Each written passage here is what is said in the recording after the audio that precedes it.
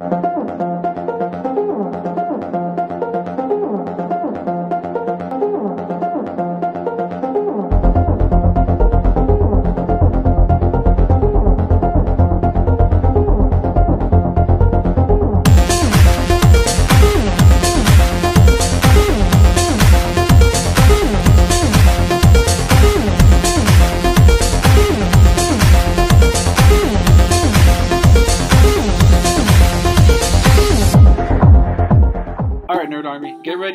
a bumpy one today. As always, I'm Jay from J&K and I'm going to be doing a theory on Disney's The Little Mermaid and one of my personal favorite, Moana. You may have seen me in a few videos of Nerdies and a glimpse of me in Moana, but if you haven't, make sure to check those out. Also, check out my channel while you're at it. I will leave a link down in the description down below. Now, I know that these movies have little to nothing in common and they take place in two different parts of the world. However, I believe I may have found a connection between the two movies. First, I will explain the stories of both movies and then give a theory. That's how Nerdy normally does it, right? Okay, good.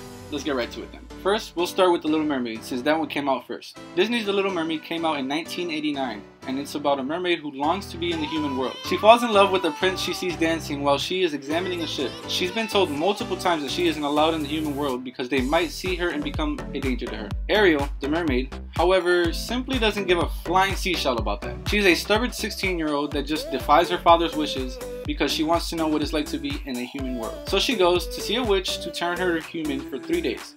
In exchange for her wish, she gives the witch her voice because all she can think about is being with Prince Eric. The sea witch turns her into a human and watches closely to see that her restrictions are met. Ariel's supposed to kiss the prince by the third day, but is not able to speak nor write to him. So it's quite difficult for her, as you can imagine.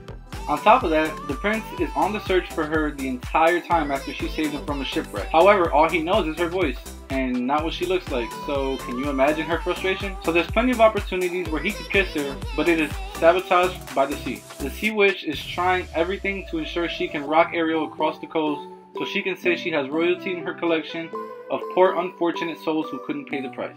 Then the sea witch comes to land in disguise but with Ariel's voice. This entraps Prince Eric in a trance after realizing the voice, and they set up to be married the next day. Of course, this breaks Ariel's teenage heart, and she starts to give up.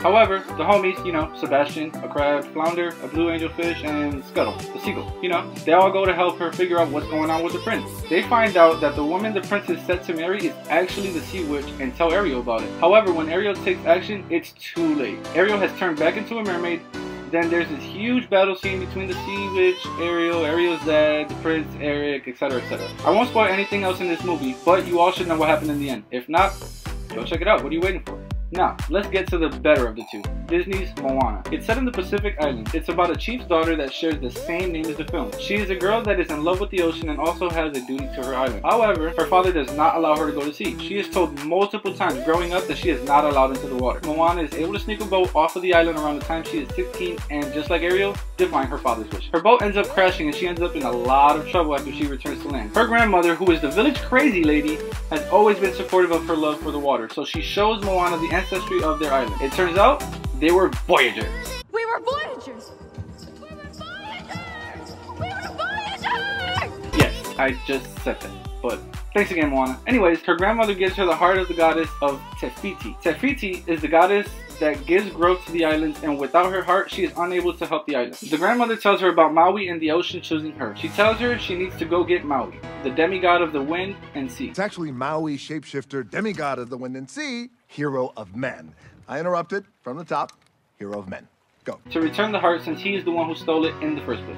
Maui at first tricks Moana and steals her boat to get off of the island as he has been trapped there for years and years and years and uh... oh yeah yeah yeah even more years. So Moana gets help from the ocean to rejoin him and they face difficulties including coconut warriors known as Kakamora, the realm of monsters which no human bodies can enter and Kā, a huge lava monster that does not let anyone, like, at all close to Te body. Like, no, don't even try. They somehow get past Te Kā after Maui has a I give up moment. Te Kā is coming at Moana after Moana visits Te resting place and notices she is gone. And for the rest, my lips are sealed.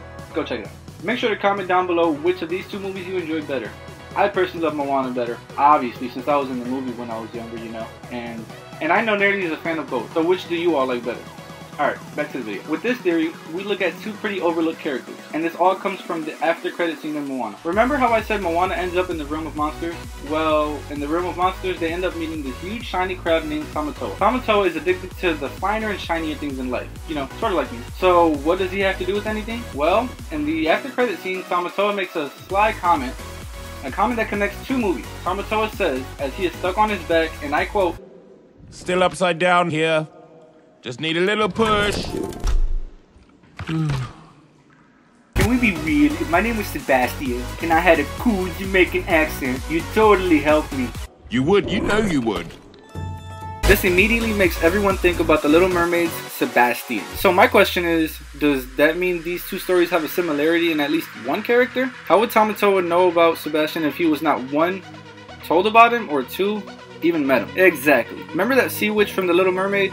Well, Ursula the Sea Witch has been known across the sea for giving people what they want. So what if Ursula gave Tamatoa exactly what he wanted? I know it seems far-fetched right now, but just hear me out. In both The Little Mermaid and Moana, there is always truth to every song. I'll give you examples if you don't believe me. In The Little Mermaid, Ariel sings Part of Your World, where she expresses how much she wants to be in the human world. In Moana, Moana sings I Am Moana, where she expresses her love for herself and her ancestors. Also, in The Little Mermaid, Ursula has a song called Poor Unfortunate Souls where she explains her work and how her pricing system works. She gives in full details how she helps people and if they don't pay up, she has to rake them across the coals. Then in Moana, Tamatoa also has a song called Shiny, where he spills how much he loves to be glam and gorgeous because the fish follow anything shiny and he eats that way. So let's take a look at both of these songs. First up, Poor Unfortunate Souls. Ursula literally says in the song, I admit that in the past I've been a nasty.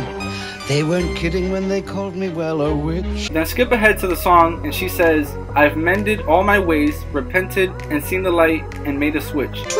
Yes. And honestly, it's been proven true. She was honest throughout her transaction with Ariel, so I can see that she is different from how others describe her in the movie. Then, we hear her say, I use it on behalf of the miserable, lonely, and depressed. The it refers to the magic that she uses on her. Poor unfortunate souls. So Ursula is being completely honest with Ariel, telling her her past and her reasons for helping people. But what about the pricing? Well, she's honest about that too. Ursula says to Ariel, Someone couldn't pay the price, and I'm afraid I had to rake them across the coals. Yes, I've had that odd complaint, but on the whole, I've been on the same. This should already tell Ariel that if she doesn't pay the price negotiated, she will be punished. So she knows her risks. So Ursula is proven to be highly honest in her song to Ariel. So why wouldn't it be taken seriously? Now let's take a look at Tamatoa's Shiny song. In Shiny, Tamatoa says to Moana and his story and why he always looks so beautiful. He straight up tells Moana that Well, Tamatoa hasn't always been this glam.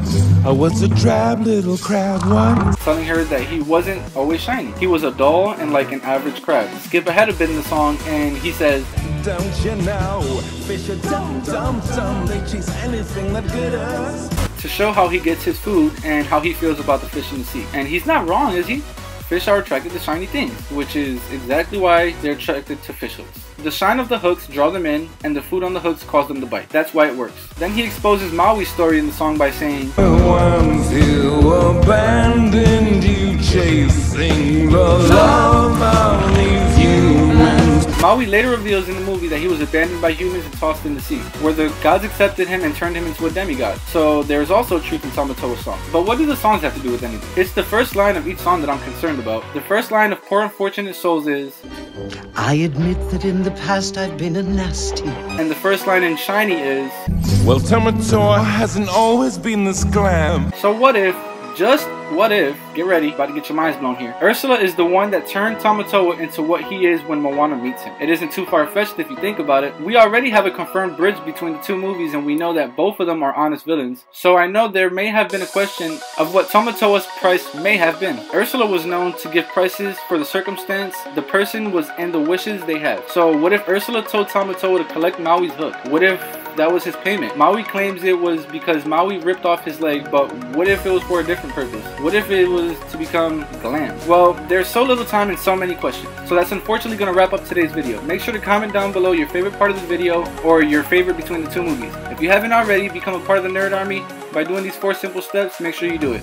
Subscribe, hit that bell button, like this video, and comment down below when you're done. Also become a part of the Daydreamer family by doing the same exact thing that you did to Nerdy's channel. You can just go to my last video and do the same procedures. So like the Daydreamer family, Kay, and myself always say, never stop daydreaming and always keep your head held high. We'll see you guys on my channel or in the next video. Peace. If you want a shout out, here's how to get one. Click the subscribe button, make sure to turn on your post notifications, and hit that like button. But don't forget to comment. Then boom, you will get a post notification shout out.